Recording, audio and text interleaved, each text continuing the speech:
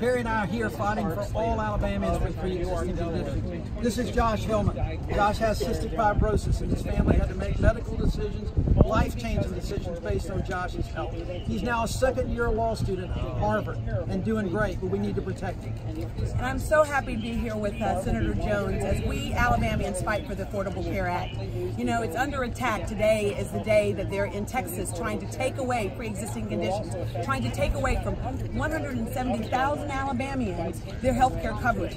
This includes Debbie and Dan. This is a story uh, that uh, Dan sent to our office from Oxford, Alabama. His wife is blind. She has a pre-existing condition, and she is worried that we will be taking away her health care by letting this uh, horrible case go before um, before the, the courts. So I think it's important that Alabamians know that Doug and I are standing up for all Alabamians.